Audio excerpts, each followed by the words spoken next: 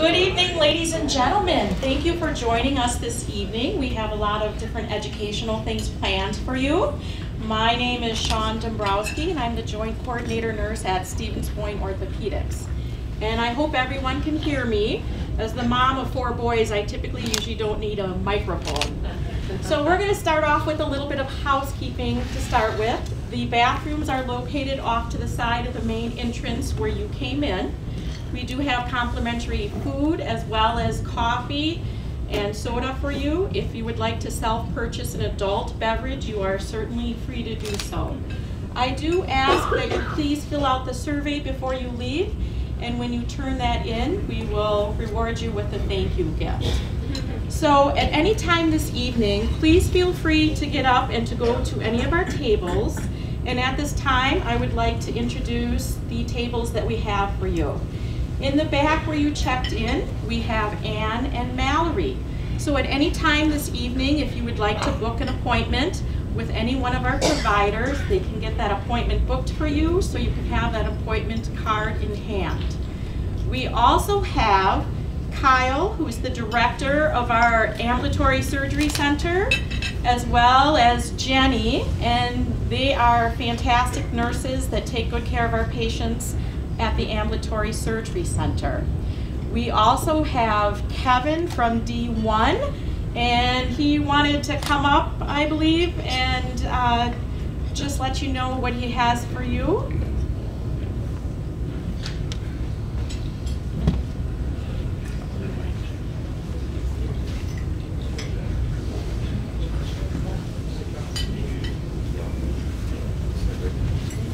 Thanks everyone for coming tonight. So I'm Kevin Kirschbaum, the general manager and co-owner of D1 Training. So we are a fitness facility right here in Stevens Point, and uh, you're welcome to come talk to us at the table. We will be chatting about preoperative strength training and just continuing fitness fitness after surgery. we'll be happy to chat with you and introduce you, tell you about D1. Hello, my name is uh, Kaylee Clark, and I work at D1. I'm one of the coaches, and if you were to come to me before surgery for training, you would interact with me, and I would work on some things to uh, strengthen the muscles around your joints and make sure that we get you ready to go post surgery. I'm also a nutrition coach, and my emphasis is on anti inflammatory foods and beverages and things to help you feel really good before, during, and after surgery. Thank you. I'm frequently asked what is a medical or what is a joint coordinator. So I compare it to being a medical concierge. So while having a joint replacement is one of the most common orthopedic surgeries, we do recognize that this is a new experience for you. So we are committed to making your journey as smooth as possible. This includes meeting with you before your surgery two to three weeks beforehand and unlike other facilities where they send you off to a mandatory joint camp at the hospital where you're part of a group of 20 or 30 people, we find that it's much more beneficial to meet with you individually. This allows me to get to know you better and to address your individual questions or concerns that you have. And together we will identify what is the best discharge plan for you after your surgery. For some people, that may include outpatient physical therapy after surgery, and other people may elect to do home health therapy where a nurse and physical therapy initially come to see you at your home. And I will see you after you have your surgery as well as following up with you for several weeks afterwards. You will also be given my direct cell number. I mean, how many times do you leave the doctor's office and you forget to ask a question or you're wondering if something is normal after surgery. So I will, call, I will follow you very closely. And one of my favorite things is at the end of your joint journey, we have a celebration picnic where you get to meet with the orthopedic surgeon as well as the physical therapist and we celebrate your hard work. Now I'm very fortunate that we have six extraordinary orthopedic surgeons at Stevens Point Orthopedics five of who specialize in doing joint replacements. All five of them will be presenting this evening. So at this time, I would like to introduce Dr. Todd Williams.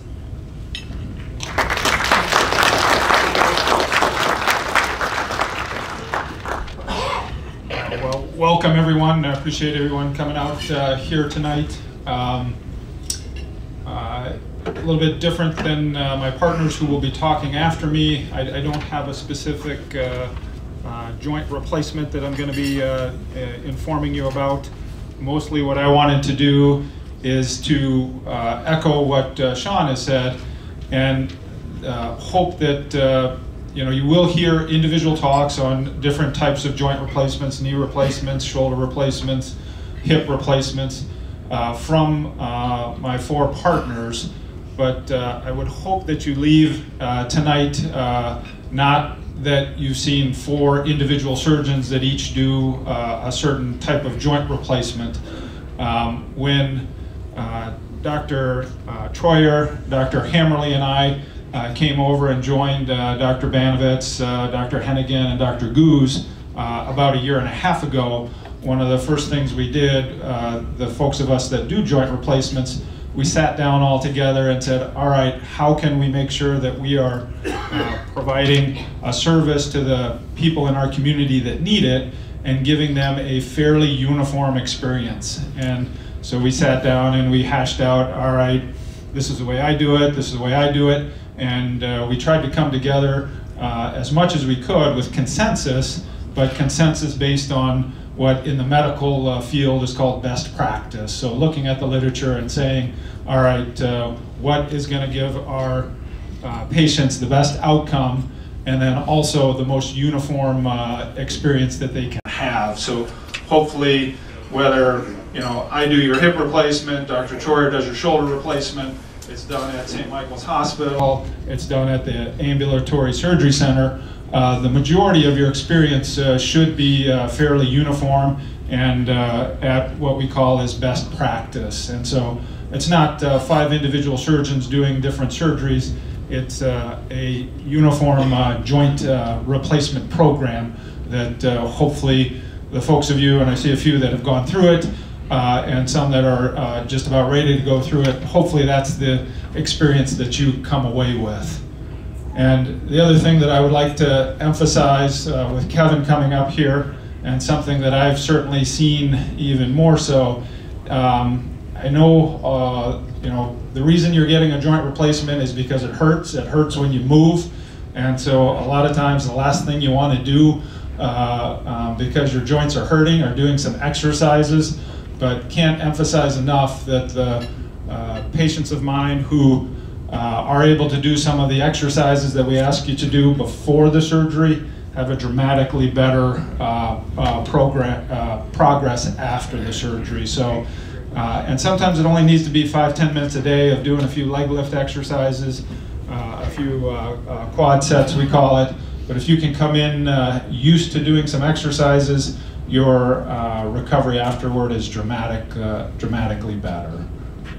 And I'm going to try to set the stage uh, here and set the uh, tone for trying to keep things short.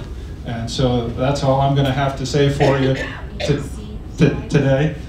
Uh, although Sean is telling me that. Uh, um, so I, I, did mention briefly that uh, again, whether your surgery is done at the hospital or done at the ambulatory surgery uh, center, um, we expect uh, and hope that you have the same uh, experience. Here's a few pictures of our ambulatory surgery center. Um, just recently, uh, Medicare has approved that uh, total knee replacements on uh, patients who have uh, Medicare can be done at a surgery center, and I think we've done a, a few there now.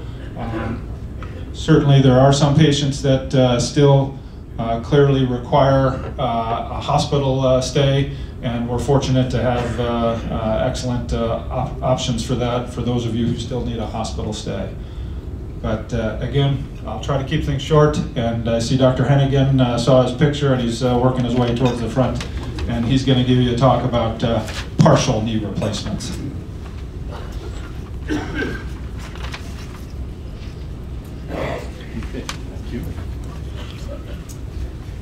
Okay, thank you, Dr. Williams. Can you guys hear me?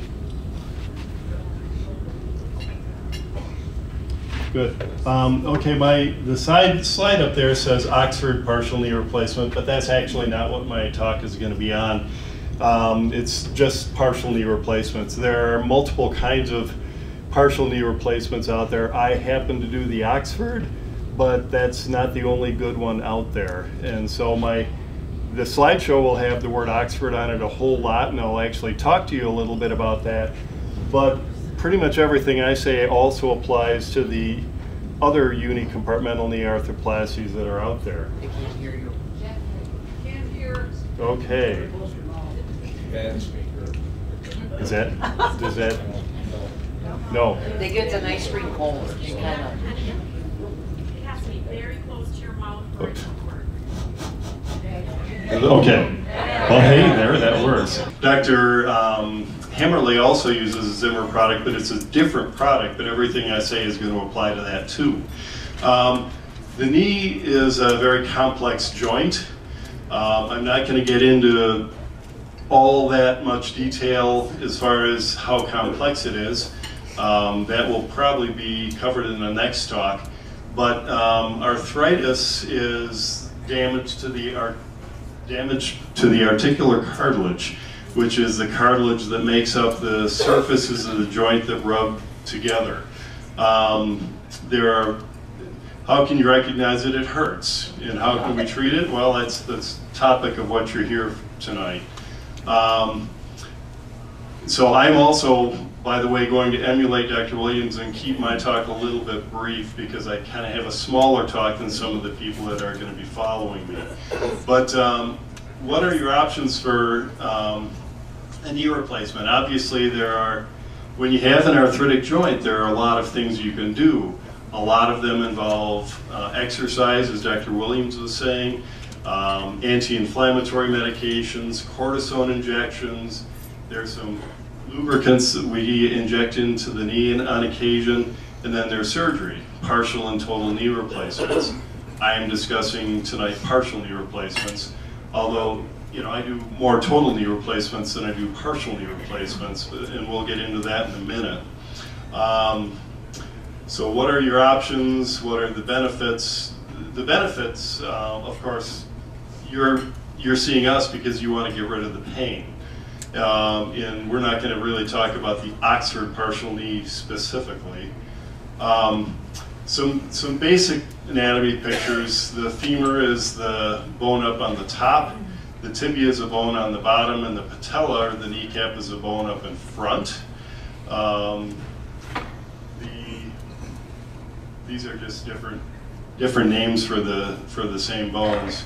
Um, the articular cartilage, which is the stuff that is kind of a bluish white on that picture, is what is worn out um, in arthritis. This intermittently just decides to take a vacation. Sorry about that. Um, but what the what the articular cartilage does is it's an incredibly firm but slippery substance, and that's why um, when you're a teenager, your your joints work so well, they move slippery, and you really never notice any any uh, any friction and that sort of thing. Well, when you get to our age, they tend to wear out. Um, and uh, and then there's the meniscus, which is that um, these C-shaped pieces of cartilage right there. Um, those also are part of the knee. They provide some additional mechanical support and uh, and they transfer some weight between the bones. Um, this is a more important slide right here because the articular cartilage is that stuff right there, and they really kind of left it out of the picture on the tibia, but it's that smooth white stuff, that's the stuff that's worn out. And the anterior cruciate ligament is this thing right there. That's actually pretty important in my talk. Uh, we'll get into that in just a minute. The anterior cruciate ligament ends up providing a tremendous amount of mechanical support that you need when you're doing a partial knee replacement. When you're doing a total knee replacement, you don't need that. As a matter of fact, we routinely take it out for a total knee replacement, but it's one of the criteria that you absolutely need if you're going to have a partial knee replacement work. Um, so the ligaments are the anterior cruciate ligament, which is that one right in the middle, posterior cruciate ligament, which is in the back, medial collateral ligament uh, is, over here, and then the lateral collateral ligament is there. Um, they didn't label those all that well, but that's okay. Um, in the partial knee replacement, one of the big advantages is that we leave all of the ligaments alone. Uh, and that's important because number one, the implant needs that for the mechanical stability, but also those ligaments have um, little things buried within them that provide what's called proprioception, which is how your body knows where your knee is in space. And so basically, it feels more normal if you can leave all of those things alone. So one of the big advantages of the partial knee is we leave those ligaments alone. And, uh, and that's one of the reasons why people tend to do better after the partial knee replacement in certain ways.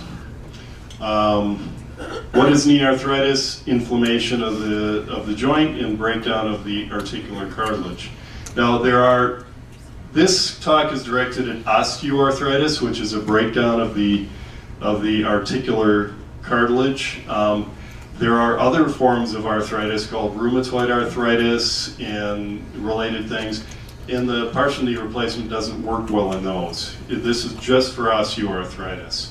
Um, a huge number of uh, adults suffers from osteoarthritis, and it's the number one uh, cause of disability in the United States.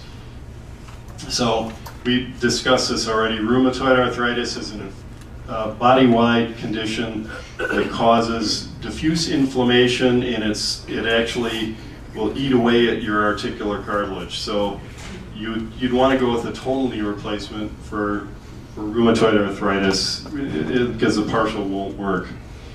Um, osteoarthritis is the one we're talking about. Horrible picture, but it's where you get uh, um, where you get damage to the uh, to, to the articular cartilage and you get bone-on-bone -bone articulation. This is a little better picture. Um, the normal knee on the left, you can see all of the smooth, glistening white cartilage. Uh, then the medial compartment osteoarthritis is where you get damage selectively on the medial or inner side. And then tricompartmental is when you get um, medial and lateral involvement, and usually the kneecap is involved in that too. Um, the partial knee replacement is for just medial compartment disease. Uh, symptoms, knee pain, stiff knee. I'm going to fly through some of these because you guys are living it. You don't need me to tell you what all of the symptoms are. Um, obviously, we ask a lot of things, current health, medications, um, whether there are any coexisting problems that we need to know about. A big one is the range of motion, we watch you walk, uh, see if you have joint line tenderness.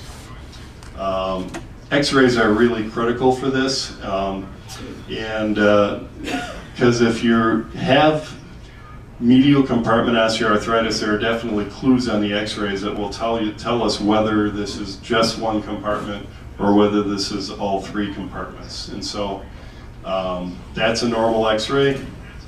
And that's an x-ray that involves medial compartment disease. Uh, so you can see that the lateral compartment over here is fairly normal, good space between the bones here, uh, but on this side that's bone-on-bone uh, rubbing. Um, treatments involve activity modification, as we talked about, weight loss, you know, you can walk with a cane. Um, physical therapy, which Dr. Williams talked about, is very important to both to try to prevent the need for knee replacement and also if someone is going to have the knee replacement, partial or total, it's really critical to strengthen the knee as much as possible. Obviously, over-the-counter pain medications such as naproxen, ibuprofen, uh, and then we get into surgery, uh, joint replacement surgery. Um, when to consider knee replacement, um, diminished quality of life is really the biggest one. If you get to the point where you say, I can't live with this anymore, it's worth it to me to undergo the risks of having surgery, that's when we do the surgery. And I can speak with, for pretty much all my partners, I never talk people into having surgery. People come in, tell me it's time to have the surgery, and that's, that's when you know it's time. Um, the goal is, of course, to get rid of the pain and reduce and increase your quality of life. Um, and then we get into the traditional total knee replacement or the partial knee replacement. Um, a little history for you. Partial knee replacements have actually been around longer than total knee replacements. If you go back to the 70s, um, since most people have involvement mostly on the medial side of the knee, the original people that decided to try to do joint replacements decided to just do the partial knee replacement. But the first several generations of them were terrible. They didn't work well, they loosened, they loosened very quickly, they, uh, they didn't provide good pain relief. And so very shortly, after just a few years, they came up with uh, the, um, the total knee replacement. And we're still using a variation on that total knee replacement today. And Dr. Hammerly will be telling you a lot about that in just a couple of minutes. Um, now, meanwhile, over here in the States, so we were doing all of these things, the McKeevers, the Macintoshes, all the things that didn't work. But over in England, there was a group of people in Oxford, England, who developed an entirely different sort of implant um, and uh, it used completely different concepts. It, rather than just sawing off a piece of bone and putting a piece of metal in, in plastic, they actually use ligament balancing, and uh, and they they've been doing this implant in essentially an unchanged form since like 1979. So there's extremely long follow-up on this because in England they have a joint registry, so every implant that's ever gone in there they have records of. And so they, they can look at 40 year follow ups on these things. We don't have anything in the States to compare with that, but they were getting amazingly good results that no one else in the United States could, uh, could match by coming up with this implant. And so that's a picture of that particular implant. Um, and so um, subsequently, the little digression here, there was a, a, fun thing that when this had been going since the 70s in England, but when they came to the United States to get it through the FDA so that we, they could market it here, so this was in the early 2000s, the first few studies, they would just have American surgeons put it in, and the results were terrible. And, uh, and so they went back, the FDA went back to them and said, no, we, the American surgeons cannot reproduce this. And so then they had some American surgeons go to England and learn how to do the surgery correctly from the British surgeons. And all of a sudden they came back and then their results were just as good as the British surgeons. So the FDA gave them a conditional acceptance saying, yeah, you can go ahead and market it, but the surgeons that you have doing this have to be trained by the British people. And so, so that's, I actually got my training done in Chicago but from Dr. Goodfellow and some of his associates, who were some of the ones that originally came up with the surgery. But you know, the, the American results are now as good as the historical British results have been.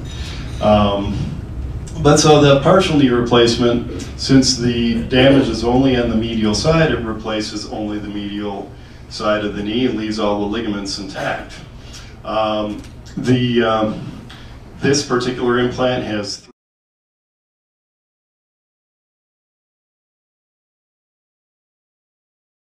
two. Um, the other implant that we're doing locally uh, has a different shape of the of the femur, and then the plastic piece is bonded onto the metal piece, but it's, it's, very similar in many ways, but they both work on the whole ligament balancing thing, which if you really care about, I can talk to you in the back table after we're done. But uh, they're a very good implant. Um, so here's a compare and contrast the partial knee, only the damaged portion of the knee is replaced. You keep all your ligaments, smaller incisions, and the biggest thing is it's a much quicker recovery. Um, it, with a traditional total knee, it's a bigger surgery, you resect more bone, you cut out the ACL and PCL. Sometimes the PCL, yes, and sometimes no. That's a whole, Dr. Hammerly will probably talk about that. Um, but you know, it's a it's a very good operation, but it's a slower recovery. Um, and so that's just another picture of the same thing we've been talking about. Partial knee, partial knee replacement on th- your left, total knee replacement on the right. Um, yeah, we already talked about that. Faster recovery. We pretty much all of these that we do, we do as outpatients. You come in and go home the same day. Usually, you're home four or five hours after the surgery is done. Um, and the, the key with this one is that when people do well with the partial knee replacements, they actually do better than people do with the total knee replacements. The what's called the Oxford knee scores and their activity levels are actually quite a bit better with the partial than they are with the total. But there's no free lunch because there is a higher rate of needing to be revised because they fail early on than in a total knee. That's a little complicated, but suffice it to say, it's um, in the people that it works on, it works very well, which is 90% or better of the people. And people are very happy to have this for the most part. But some of them do fail if they have an anterior cruciate ligament injury or if they have some lateral compartment disease that we don't recognize. Don't worry about remembering that. It's, it's a good operation for if you're a candidate. Um, and for many years, we were, since the first few generations of this were really not very good, we taught that it's a pre-total knee. We would do this to buy a few years before we did the total knee.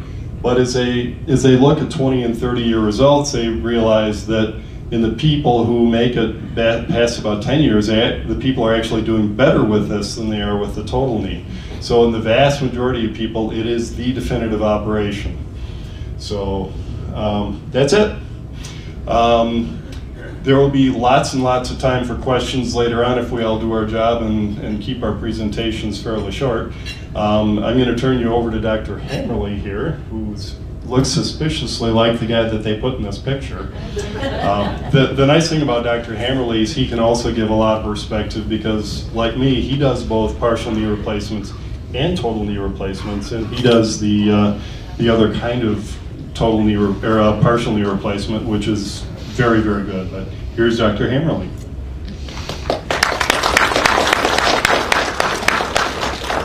Thank you, Dr. Hennigan. Um, so, as Dr. Hennigan said, my name is Marcus Hammerly. I'm here to talk about total knee replacements, and uh, so we'll get started. So, we'll we're gonna get to we're gonna be able to skip through uh, some of the anatomy indications because obviously that's been gone over uh, previously here already. Um, but that's a little bit of what we're going to talk about. And so it's the same anatomy as uh, Dr. Hennigan had discussed with the partial knee. And uh, when that cartilage on the ends of the bone breaks down, and when it breaks down globally and not just in one compartment, uh, then that's when we uh, start discussing total knee replacements. So arthritis is a very common condition, and so total knee replacements ends up being a very common condition. Um, get through some of that stuff again. And again, the symptoms are things that many of us in the room uh, can relate to, but activity-related pain, uh, pain that is beginning to limit our ability to stand and walk for uh, uh any given length of time. And then a lot of folks will talk about having pain when they are first getting up from a seated position. Um, and a lot of swelling, stiffness, and achiness at night. So this is an x-ray of a normal knee on the left uh, with an arthritic knee on the right. And so the, the normal knee has nice smooth bony contours, has a space in between the femur bone and the tibia bone. That space is where the cartilage is, and because cartilage is not calcified, it uh, does not show up on an x-ray, so it looks like a blank space. We can see on the x-ray on the right that that space is uh, essentially gone here. So that means that cartilage is all worn out, the bones are getting awfully close together. You could call that bone-on-bone -bone arthritis. And then you can see that the bone changes, so it's not so smooth on the sides. It gets bumps there, uh, bone spurs that develop uh, due to the arthritis. So the treatment options, again, you can try to manage the symptoms of the arthritis non-surgically. Uh, none of those options will eliminate the arthritis. They only are trying to reduce uh, the pain and symptoms, uh, but they are limited. And when those symptoms, uh, I'm sorry, when those treatments are not effective, then uh, surgery becomes an option. So Dr. Hennigan gave you the history of knee replacements, uh, and uh, again, it's been around for a number of decades. It's been re- refined over the years. Um, it's a very common surgery because knee arthritis is so common, and because we are living longer and more active and healthier lives. Um, our, knees tend to wear out faster than the rest of us for, for many people. And what the knee replacement does is it creates a new surface. So that cartilage surface is all worn out, and so then uh, we replace it with the metal and plastic components. And again, that's what these components are made of. So just like with the partial knee, you have a metal component on the femur uh, and a metal component uh, typically on the tibia with a plastic uh, piece that can uh, uh, hook into that, uh, that metal piece on the tibia. This picture does not show the kneecap, but another difference between the partial knee and the total knee is that we, at least in North America, typically will resurface the uh, kneecap as well. And, and that's how I like to describe it. It's a resurfacing of the bones. It's not a replacement of those bones, even though we call it a total knee replacement. Well, we're not replacing um, large chunks of the bones. We're just replacing the surfaces because those are the parts that are worn out. So uh, uh, again, with that decision making, when when you as the patient gets to get to a point where uh, the pain is becoming functionally limiting and, and, it's getting in the way of things that you like to do or want to do, uh, and the non-surgical treatment options are failing you, uh, then that's when a knee replacement is is an option. Um, and then and then that last nine, you know, preferably, uh, you know, you've probably been told that we like to wait until we're older before we think about doing a knee replacement. And the reason we want to do that is uh, these artificial parts have a lifespan to themselves too. And the goal uh, every time we do this is that, we hope that this is the last surgery that that knee is ever going to need, and that this will last you the rest of your life. Now, the younger we are when we have it done, obviously the risk of it um, having to be redone uh, goes up. And so these tend to be fairly successful procedures. Uh, most people are very satisfied with the results.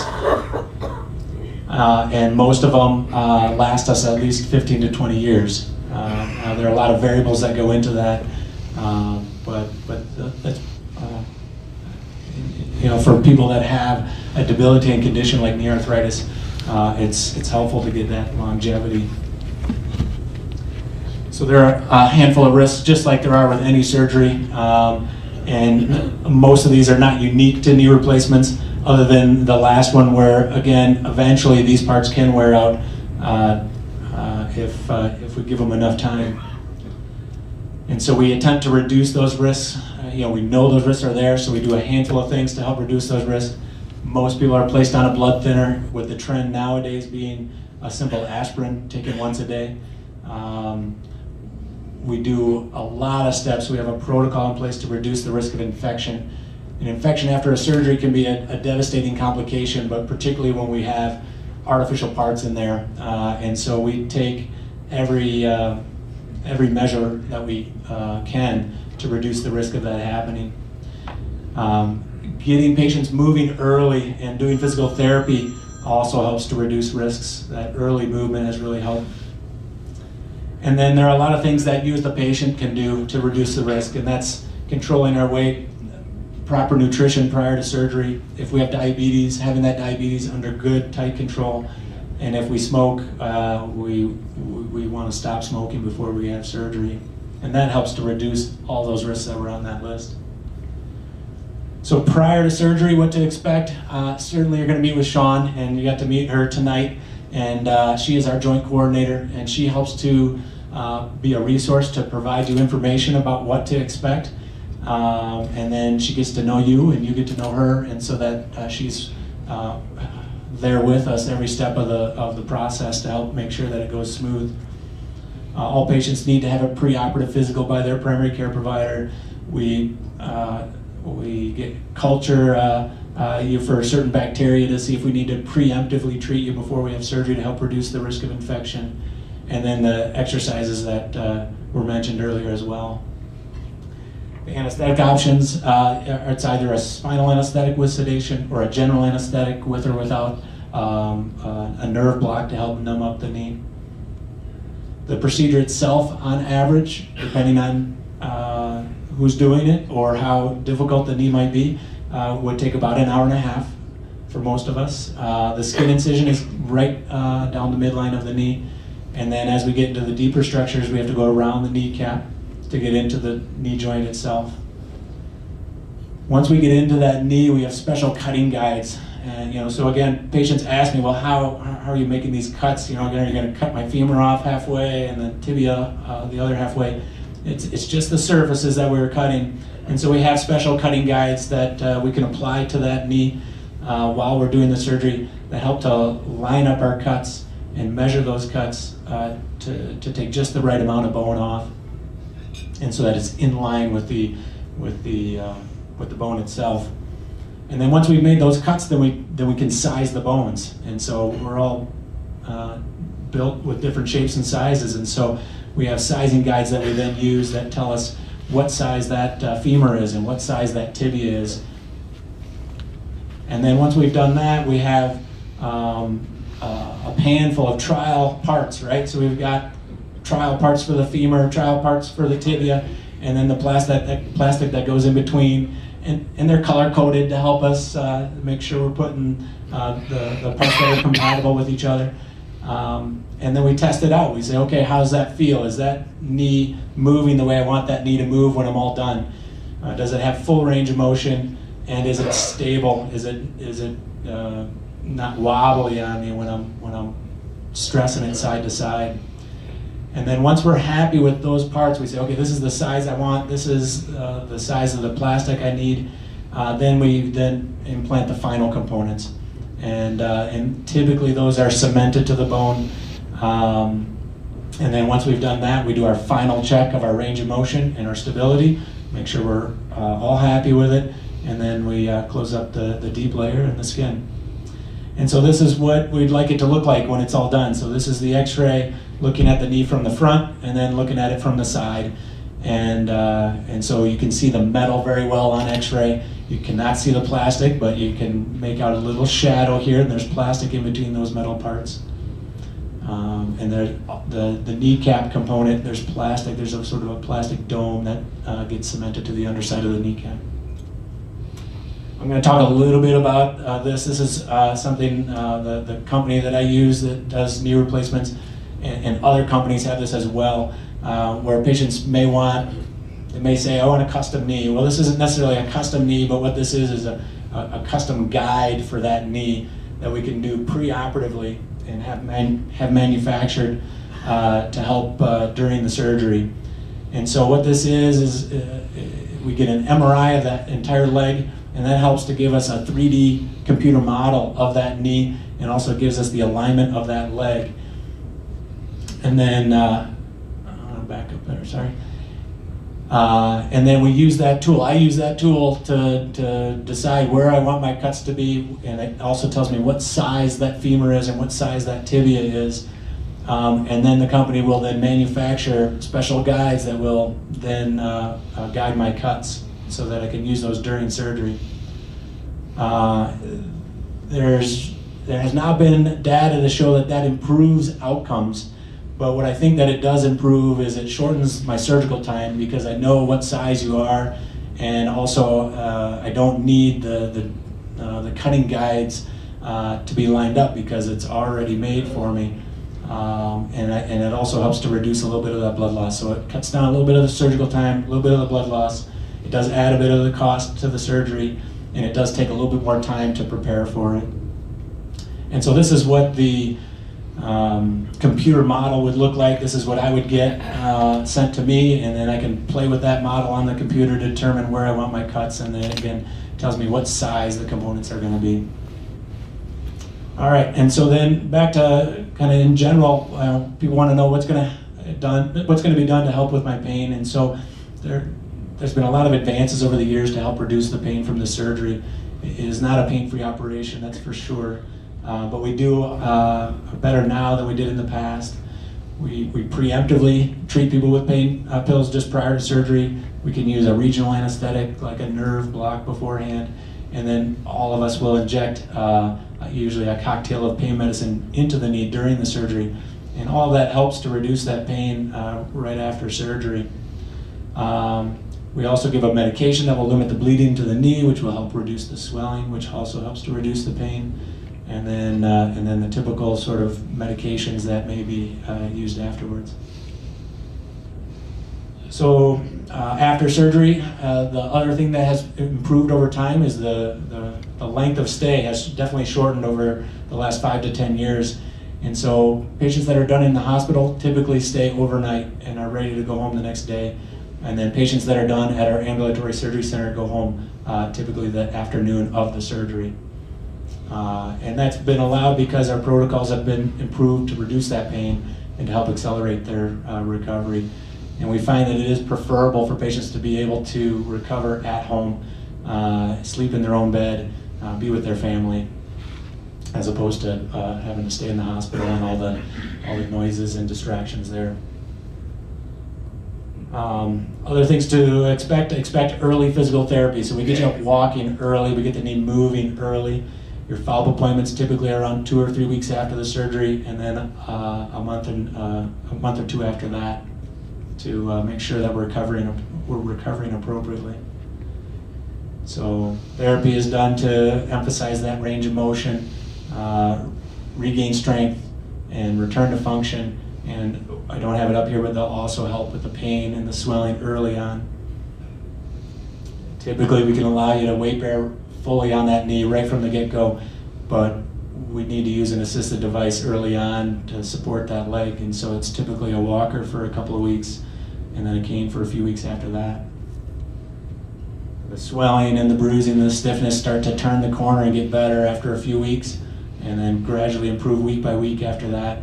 And I expect most patients to tell me after about two or three months that they're very functional and maybe they're doing even better than they were prior to surgery. Um, but we'll expect them to continue to see improvements even up to a year afterwards. So there's Dan, he's here, he's one of our physical therapists. And next up is going to be Dr. Goose. So um, hopefully that was helpful to answer some of your questions about knee replacements. Again, all of us here, with the exception of Dr. Troyer, do total knee replacements, and so feel free to come up and uh, talk with us afterwards. We'd be happy to uh, fill you in on anything else that you had questions about.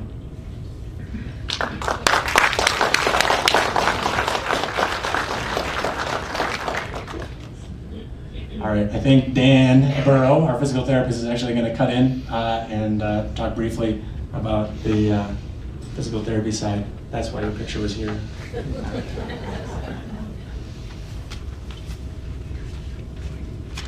Hello? Hello? Can you hear me? Hello? No. How about now? Well, my name is Dan Burrow. I'm a physical therapist. I graduated from the prestigious Marquis de Sade School of Physical Therapy in 2009. Uh, go sadists. With a major in physical pain, a minor in displeasure, and a doctorate in medieval torture methods. I graduated with top marks. Thank you for the applause. I've been able to hone my skills to a very high level over the past decade and look forward to working with you for your next joint replacement. But in all seriousness, my name is Dan Burrow. I'm a physical therapist, and it's a pleasure to be here. I won't be keeping you long. Um, I only want to talk about one thing, but in fact, this is a very important thing. It is the most important thing to a successful recovery following a joint replacement. And I'm going to tell you the secret. How do I know it's the most important thing? Because people like you have told me. When people are finished with their rehab, I like to ask them, what's the number one thing that helped you get through this surgery? Or if you could give advice to a person that's thinking about having this surgery, what would it be? And they always say the same thing take your oxycodone. No, no, no, no. That's, that's not right. The number one answer is truly do your exercises. Now, of course, you'd expect a physical therapist to say this to you, and perhaps it's only because I have their knee in a full Nelson, but this is the number one answer. So some people have realized this because they didn't do their exercises and they paid for it with more pain or a longer recovery. But most people listened to this advice and did their exercises and avoided these problems. The reason the exercises are so important is because your body heals quickly, almost too quickly. See, it mends itself with one of its toughest proteins called collagen. And collagen is found in the body in places where it doesn't want tearing to occur, such as tendons, ligaments, skin, and especially scar tissue. So, scar tissue forms very rapidly after a major surgery like joint replacement, and it can lead to problems. Um, it can make your joint very stiff, tight, painful. So, immediately after surgery, the temptation is to not move because it can be scary. Um, it can also can be painful, or there might be swelling, or perhaps you're just too tired or you feel uneasy. But if you rest and if you don't move too long, you'll only be causing more pain and a longer recovery. So, the patients that move their joints right away tend to have a faster recovery and less pain. So now you know the secret, and after you have your surgery, and when you don't want to do your exercises, I want you to see this face, and I want you to do those exercises. And to get you started, we prepared some exercises to do before your surgery. Um, as Dr. Williams has already mentioned, um, that doing your exercises before surgery will help you get prepared and have a, a, faster recovery. So we've prepared some exercises for you. They're on the back table um, for hip, knee, and shoulder. Those are some pretty basic exercises. You should be able to start them right away, and they shouldn't cause a lot of pain. Um, but I should mention that these are preoperative exercises, especially for the shoulder.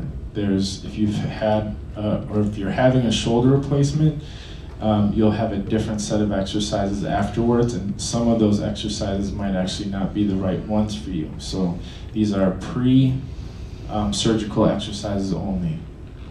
All right, thank you very much.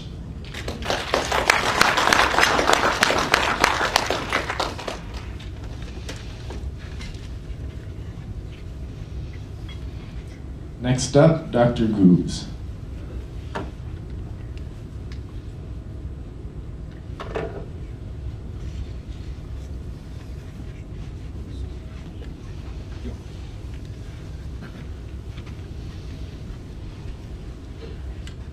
Uh, Dr. Thomas Goose. I came to talk to you about uh, hip replacement.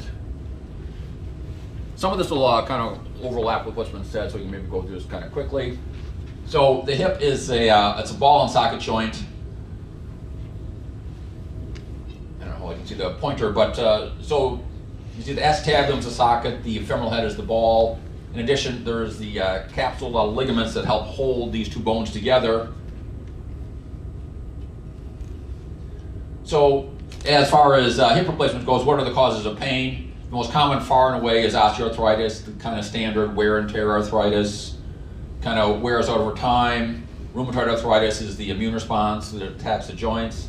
Uh, in a fracture, a lot of times, if you fracture just the top of the ball, we can replace just that ball, which is a half of a hip replacement. Avascular necrosis is uh, seen in hips not uncommonly. It's a loss of blood supply to the femur, to the ball. Um, it occurs in uh, people on certain medicines, certain steroids can cause it.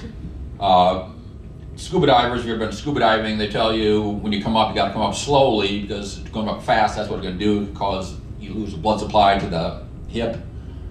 Um, heavy drinkers, a lot of times will get that. And then there are people with childhood hip diseases there's things like Perthes, which is a uh, disease of the bones of the hip, and some people are just born with a poorly shaped hip. If you have what's called dysplasia, you don't have a well-formed hip. You get a lot of wear in a small area, which causes more problems. This is kind of goes with the first picture, osteoarthritis, but now you no longer see that nice smooth surface anymore. It's rough. The cartilage is basically worn away. You get so basically bone on bone. So this bone is rubbing on that bone. You don't have that nice smooth cushion anymore. And now this is just an x-ray that kind of goes with that. Again, you can't see the cartilage. The cartilage is the surface between the ball and the socket. Over here, there's nothing left anymore. It's just bone on bone. That's why it's rough. That's why it won't move well. That's why you have all the pain. So when to have surgery, again, it's pretty much like a knee. You do the simple things. You try and make it better that way. When those things never work anymore, when they're not helping, when you can't get around to do things you need to do, that's when you talk about having a hip replacement. We don't want you sitting in a chair all day doing nothing in pain if you just because your hip hurts.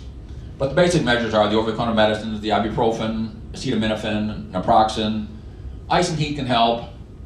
There are a lot of different creams and ointments out there. There are over-the-counter medicines, over-the-counter ointments. There are prescription ointments. They come in patches, which is really the same medicines, just in a patch form. It keeps everything in one small area. It keeps your clothes, clothes clean as nice. Those work better in knees and probably in shoulders. Your hip joint is actually very deep inside. It's unlikely anything, any ointments you put on your skin or in a patch are actually going to penetrate all the way down your hip joint. But there are people out there who use them. They say it makes them happy, makes them feel better. So if it makes you feel better, it's not a problem. Physical therapy again, if you work on physical therapy if you're just having pain, it usually does help some of the pain. It's not likely to eliminate all your pain if you got hip arthritis. But it certainly can make you get around better, you get better motion, better strength, so you can do more things. Um, cortisone injections, we can do cortisone injections for a hip just like you can for a knee. It's more involved. Usually an ultrasound machine or you can do it with a special x-ray machine in the hospital. Cortisone injections are temporary. They make things feel better. They are uh, not going to solve the problem. You get a shot of cortisone, the x-ray is not going to look any better. Um, eventually it wears off. If you do have a shot of cortisone and it doesn't work well for you for any joint, you can't have a joint replacement then for a minimum of three months because the risk of infection goes up. Um, and a cane for, for hip arthritis, canes and walkers can work well. I do some walking supports. If you're going to use a cane for hip arthritis, you usually use the cane on the opposite side of where the arthritis is. But it takes the strain off the joint, so that can help with the pain, can help you get around and do more. But again, when, it's when those things don't work anymore, you talk about having surgery. Just Kind of goes through some of these things. This is a, a diagram of one type of hip replacement. There are a whole lot of different designs. They, of course, come in a lot of different sizes so they can fit anyone. But uh, you generally have a metal shell here that gets pounded into the uh, socket or acetabulum. There's a liner. This is a plastic liner, and that's largely what you use. The liners can be made out of metal sometimes, so you can have a metal on metal hip, kind of going away from some of those. It can be ceramic. The stem here is generally metal the ball can be either metal or ceramic as well. Then the whole thing can either be cemented in or it can be what's called ingrowth, where the bone will grow into the surfaces. This is kind of a picture to kind of show you the back of a shell, one of the acetabulums. On the back side, you got all these little uh, gaps and interspaces that bone will grow into over time. There's also a lot of screw holes, so you can pound that in. You can add supplemental fixation with screws to fix that. You put it in, and when you put it in, you want it to be solidly fixed right away between putting it in tight and then putting in the screws. But uh, over a period of a few months, bone will grow in as well that helps fix that. And then the plastic shell, just looking at it from this direction, will snap into that metal shell. So just kind of going over the procedure briefly. So there are bone doesn't show up real great on this one on the uh, on your right side. The bone has muscle attachments throughout the area, so we try and leave all the bone where the main muscle attachments are, and just resect the top of the ball here. And then on the uh, cup side, what you do is you take some acetabular, some uh, hemispherical reamers, and you ream out this rough, beat up area to a nice, smooth shell and then you take an appropriate size metal shell, or you could actually cement in a plastic shell occasionally as well. You pound that in, and then if you need to, you can add supplemental screws. Then you snap in the plastic liner, typically into that shell. Then on the femoral side, on the stem side, the solid bone here is on the outside, and you got the soft bone down the middle. So we remove the soft bone in the middle of the femur, leave all the hard bone, and you get that to an appropriate size, and then you put in this metal stem that's appropriately sized. you pound that in, and again, that can be cemented in as well. And then the uh, head, again, could be metal or ceramic, but they come in different sizes, different lengths, so you can adjust somebody's leg length that way at that time to try and get it appropriate. Um, surgery, again, like a knee, takes probably about an hour and a half. And uh, anesthesia is either spinal or general. Some of the controversies about uh, hip replacements, inpatient or outpatient, again, just like a knee replacement, it can be done as an outpatient, though if you have Medicare, it cannot. Medicare this year approved knees to be done as outpatients. There are suggestions that next year that approve hips to be done as outpatients, but they have not as of yet. If you have private insurance, you can have it done as an outpatient. To have it done as an outpatient, though, you got to be healthy. Um, some of the advantages are it's a lot cheaper to have it done as an outpatient. You're also not in the hospital with all the other sick people who got their coronavirus or whatever. so, other ones, you, you can have a uh, cemented stem and shell, or you can have ingrowth again. It kind of depends on the quality of your bone. Some people a little sicker with uh, weaker bones we tend to go more towards cement. We use ingrowth in the majority of situations. Uh, metal on metal was popular for a while. Hmm, hit the wrong button here. It was popular for a while. We're kind of fading away. There's some problems with that, but it still is done sometimes rather than doing the plastic pieces or the ceramic pieces. Uh, hip resurfacing is another one. It's a type of metal on metal replacement. You don't actually replace the whole stem though. You actually put, where you resurface the socket with just a shell, you actually put a shell on the top of the femur. And the thought was, well, if you do a minimal operation like that, people go back to running and jumping and playing all these sports. it hasn't really worked out as well as we'd hoped on some of these things, so it's fading a little bit, but there are still people doing some of those. Uh, mini, mini incisions, another thing that was popular for a while. You can sometimes make one real little incision or sometimes two little incisions where they make one little incision to put the cup in and one to put the stem in. Um, again, there are some problems with that. It's a little harder to do the operation well when you're working through a tiny little incision, but there's still some people doing those. And uh, I mentioned before, partial hip replacement. If you have, if you break your hip, it's pretty common. To, if you need to replace that to just do the broken part, you just replace that part that's broken. Some people, some people with what's called avascular necrosis, where the bone dies, and if the rest of the hip's in good shape, you can talk about doing a partial replacement. But then you have the uh, the cartilage on the uh, socket side that can wear out over time if you're walking on that with metal. So there are risks with that as well. Um, so one of the big things people talk about today, one of the big uh, controversies is uh, which approach, which direction should you go for them in order to do the operation. So the posterior approach is the most common. It's been around the longest. It has good results.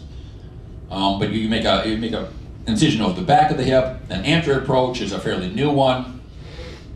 It's been around for a little while. Again, you make a, a, an incision in front. The patient lays down flat rather than on their side. The posterior lateral approach has been around for a while. It's uh, been done, again, has good results. The uh, hot new one is the direct superior approach. um, so going back, so the posterior approach, the anterior approach, the posterior lateral approach all have some reasonably long-term results. They all seem to give equally good results. They seem to have similar complication rates. It's probably not a big deal for any of those. The direct superior approach, like I said, is fairly new. Um, there are some short-term results that look to be as good, neither better nor worse than the others. But we don't have long-term results on that one. Again, it's a fairly new one. But for but not many people are doing that either. Large majority of people are doing the other three that are common and seem to give equally good results. The risks, anytime you have this major operation, there's always risks. Like with a knee, there's a risk of infection is about 1%. If that happens, it's a big problem. It's, occasionally you go in and just kind of wash it out and give some antibiotics and it'll clear up, but frequently you have to take all the pieces out, get the infection clear up, put the pieces back in. Blood clots are risk. Most people are treated with aspirin. If you have a risk of blood clots, if you have got a history of blood clots or other medical problems that would cause clotting, sometimes we put you on stronger blood thinners. They come in shots or pills. But of course, with stronger blood thinners, you get more risk of bleeding. Uh, general medical problems, you have trouble with the uh, heart, lungs, kidneys. That's why you got to see your family doctor ahead of time, make sure you're healthy enough to go ahead. With hip, leg length inequality is always risk. So you, you cut out the pieces, you cut out the the ball and the stem, and you, you do everything, and then you put new pieces in, and you try and get them to be the appropriate length. It's not uncommon to be off by a couple millimeters here or there. It's unusual to be off by a lot, but it's always a risk is that it could be off.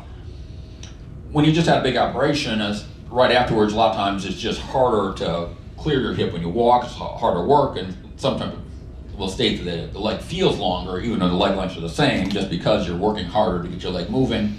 That does obviously get better with time. One of the general risks of any joint replacement is loosening and wear. Things can wear out over time. Certainly, we hope to get 20 years or so out of a hip replacement. The way joint replacement replacements work, unfortunately, is that uh, younger, healthier people, if you haven't done when you're 45 and you're still working and doing a lot, it's probably not going to last as long as if you haven't done when you're 75 and not moving around nearly as much because it's activity can cause things to wear out over time. Um, fractures a risk. That can happen during surgery when you're putting things in, things can break, or afterwards. If you fall after you've had hip replacement, the, the metal pieces don't break generally. It's, it's the bones around that. Occasionally you can break the socket, the acetabulum. More often what happens is it breaks, you go back, at the tip of the, the femur, kind of down in here, is where it tends to break, because that's usually the weak spot. If you fall and break your leg after you've had a hip replacement. And that can be fixed, but it's a, it's a big operation again. One of the other risks with the hip is dislocation. So, like I pointed out at the beginning, there's that uh, capsule, those ligaments that hold the ball and socket together. No matter which direction you come from, what approach you use, you have to cut those ligaments to do the surgery to put these pieces in. So we're relying afterwards, early on, on this ball and socket. If you got your hip in a reasonable position, the ball is in the socket, you should be fine. But we do repair those ligaments and stuff afterwards, but if you're not cautious, you move the wrong way, you can't get the hip to dislocate like this, and you'd know right away. It's painful. Again, that happens a few percent of people. It doesn't happen very often, but you got to be cautious. The general rule is you don't bend your hip up more than 90 degrees. You don't want to turn your toes in. You don't cross your legs over to try and protect it. You want to keep the ball in the socket and it heals up. It can't happen any time. I saw a guy in the emergency room not that long ago who had his hip replaced nine years ago in Chicago, never had a problem. And he's, he's actually a truck driver, was unloading something, bent down too far, and he dislocated his hip for the first time ever, nine years out. So it can happen anytime. It's one of the risks, so that's why they give you the precautions after surgery. After the surgery, most people get a lot better. The pain should get better. You should get around better. Occasionally, if you're using a walker to begin with, you can go back to a cane or use less support to get around. We let you go back to most things, and this is true for knees as well. You should be able to get back to most daily activities. Most people go back to work and do their job. Most exercise, okay, I probably should have put uh, walking first. Walking's great for exercise after you've had a joint replacement. We do allow you to go back to playing golf, riding a bike, using an elliptical machine, but because the uh, main contributors to wear and tear is just the amount of activity you do, we like to stay away from the, the running and jumping activities after a hip replacement or a knee replacement. Uh, so, you know, if you're uh, if you're running up and down the basketball court and slamming the ball, we ask you to stop once you're done. So, uh, and uh, otherwise, I think Dr. Troyer is up next here.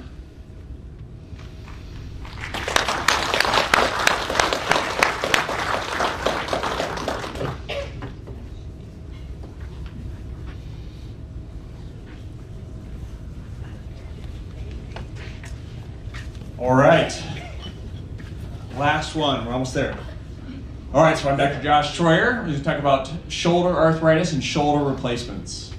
So just starting off with a little bit of anatomy. So the shoulder is made up of, I don't know if the camera guys mind, but I'm just to come up here and point because I don't think you can see the laser pointer from way back there. So your shoulder is a ball and socket joint, just like the hip joint Dr. Goose was just talking about. The ball meets the socket here, and that comes off of the humerus bone or the arm bone, and the socket's off of the scapula bone. and nearby is the clavicle as well, your collarbone. So actually the clavicle is the only true attachment of the upper arm to your main skeleton. The rest is all extra muscular attachments. And there's actually 17 muscles attached to and from our shoulder blade. And the shoulder joint, as we said, is a ball and socket joint. It has the most range of motion of any joint in our body. Um, unlike the hip joint, the ball is larger than the socket. So this allows great mobility, you can move it, but it sacrifices stability. So Dr. Goose was just talking about hip dislocations. Shoulder is the most common joint to dislocate in our body. So there's a uh, key difference between the two joints there. So this is analogous to a golf ball on a golf tee. And a lot of times in clinic, I'll show people their x-rays and show them uh, the views and say, hey, this looks, looks like the golf ball, and I'll refer to it the golf ball and as the golf tee. So the ball would be the ball of the socket, and the tee would be the socket. So the ligaments of the shoulder are meant to be loose to keep that nice range of motion, and they limit the extreme positions of our shoulder joint, and they allow for significant movement. Um, muscular attachments of the shoulder, the main muscles that we'll talk about today is the deltoid, which is the bigger muscle on the side of our arm, and the rotator cuff. So everybody hears about the rotator cuff. It's an important group of four muscles, and those muscles turn into tendons. You can see here on this picture, this is the front rotator cuff. So the muscle turns to tendon, and the tendon inserts on the arm bone. And there's a top tendon, which is actually the most commonly injured one. There's actually two in the back. So these are actually deep, deep, deep down in our shoulder. So those four muscles are the subscapularis, that's the front one, the supraspinatus, the infraspinatus, and the teres minor. So, because the shoulder joint is so unstable, uh, we need those rotator cuff muscles to provide stability to our shoulder. So essentially, those rotator cuff muscles, muscles are the dynamic stabilizers, meaning when our shoulder's moving, that rotator cuff is doing its job to keep that ball centered in the socket. So just like I said here, so the job of the rotator cuff is to keep the ball centered in the socket. It compresses the ball against the socket and aids in reaching our arm out away from our side and overhead as well. So sometimes people have shoulder pain and different people experience different things. Uh, most people say they have pain at rest or pain with movement. Sometimes people have sharper or stronger pains. Uh, most common reason people come to see me in clinic for shoulder pain is because they can't sleep at night. They get discomfort. As soon as you think that you wouldn't have any pain because you're laying down to get a good night of rest, all of a sudden that shoulder starts to ache like a toothache. And the type of the pain that you feel and where you feel that might um, tell us what's going on inside your shoulder joint.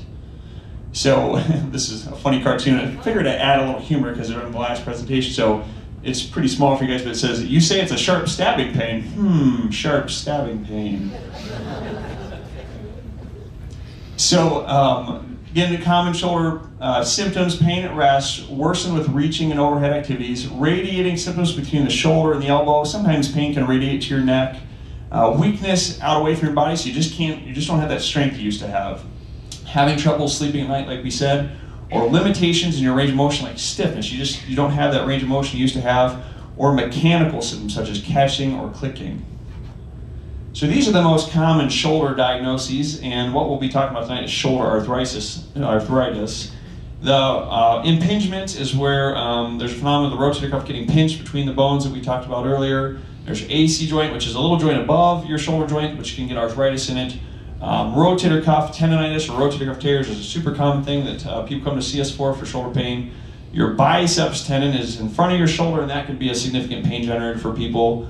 Frozen shoulder is a condition, um, an autoimmune condition where the shoulder just loses its range of motion. It's exquisitely painful, and then shoulder arthritis. So here's um, imaging, I think again, any talk about the shoulder starts and ends with the rotator cuff. So this is what our rotator cuff is. If you look at this, this is an MRI scan. Know it's a little small for people far away, but here's the arm bone, here's the ball of the ball and socket, here's the socket on the right. So this is that rotator cuff muscle, and we talked about how the muscle turns to a tendon, and then the tendon inserts in the arm bone. And this is what it looks like through a scope. I don't, it doesn't project very well, but it's that white covering of tendon that covers the whole ball of the ball and socket. And this, would, this is what a problematic rotator cuff would look like. So here's an MRI tear showing a little tear. You can actually see this little bright signal underneath the tendon. The tendon's right here. You can kind of see that. That would be an area where the tendon is not actually healed to the bone. Here's a little bigger tear where the tendon comes over here. You see it ends right there. And you see this white fluid signal from the shoulder joint fluid. And so that's a, a full thickness tear. And another similar phenomenon here over here where the rotator cuff's torn. But in real life, I think this is the more interesting picture. Is this is what it looks like if the rotator cuff has a tear. So this tear is kind of shaped like the letter V. You can actually see in the ball and socket joint.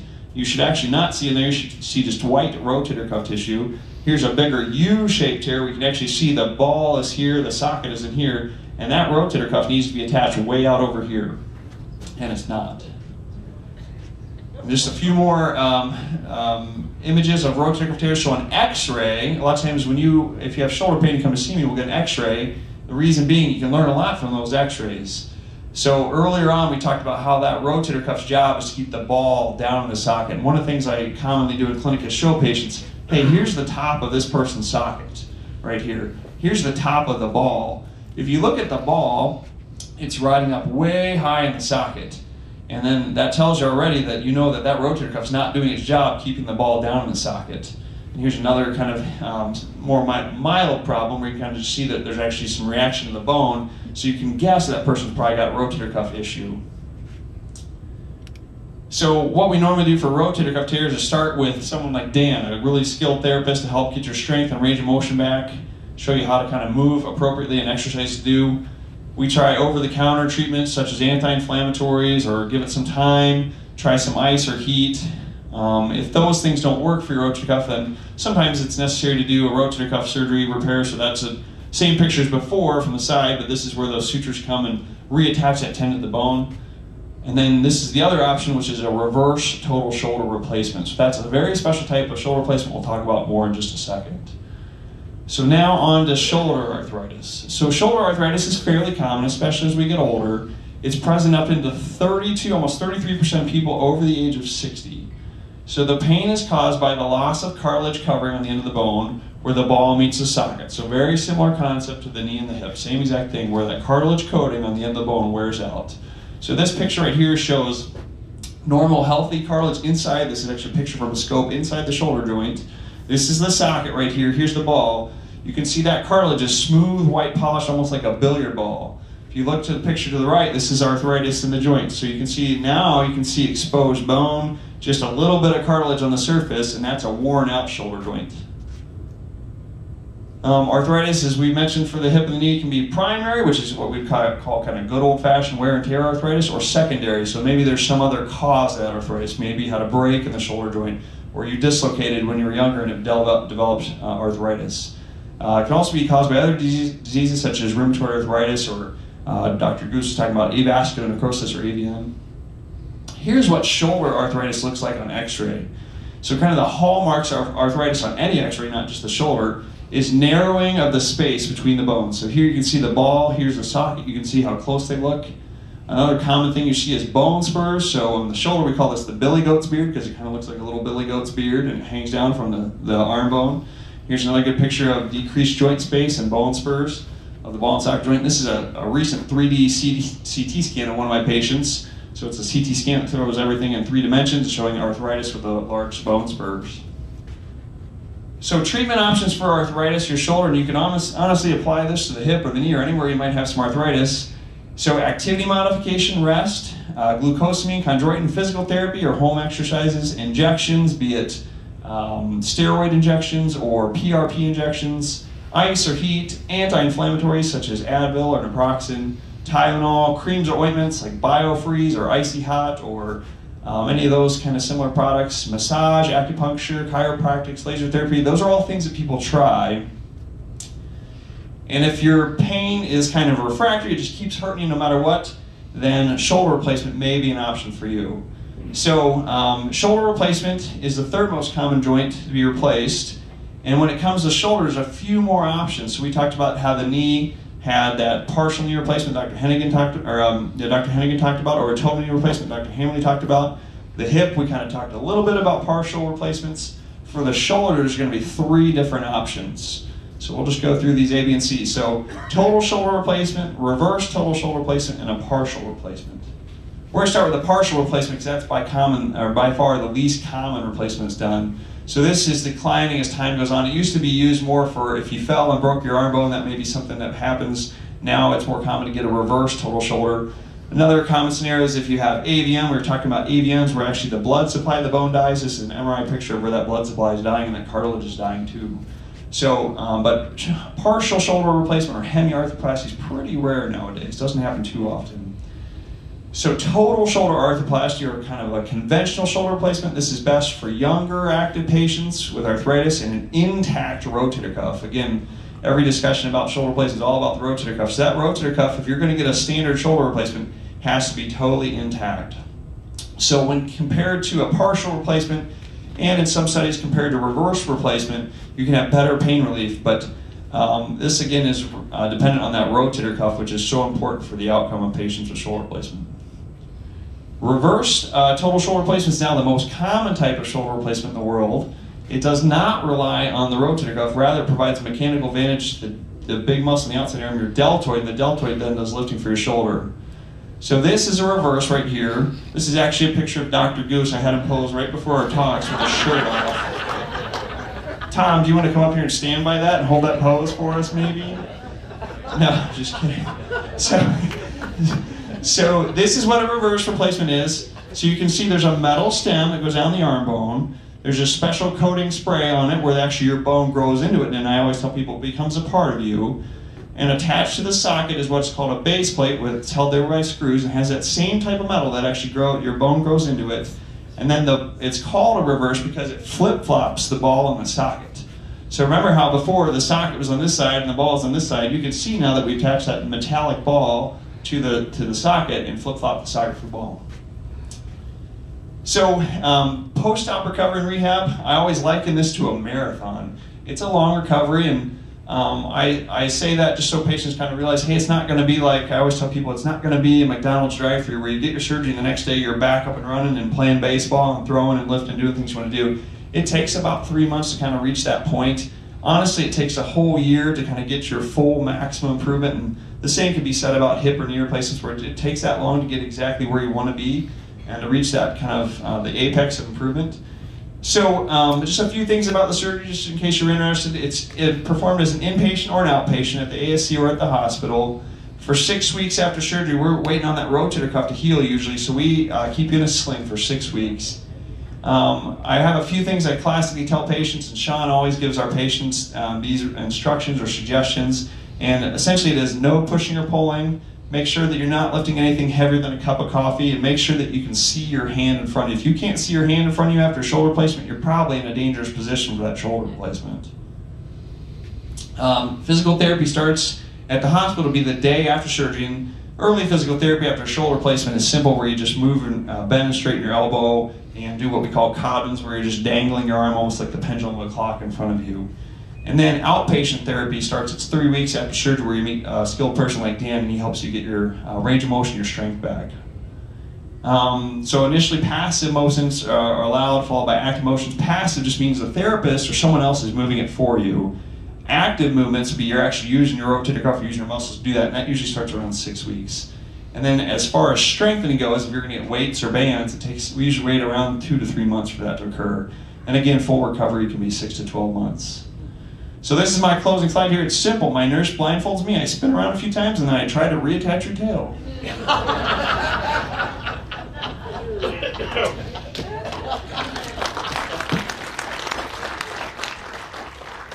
so I just want to say thanks to you to everybody.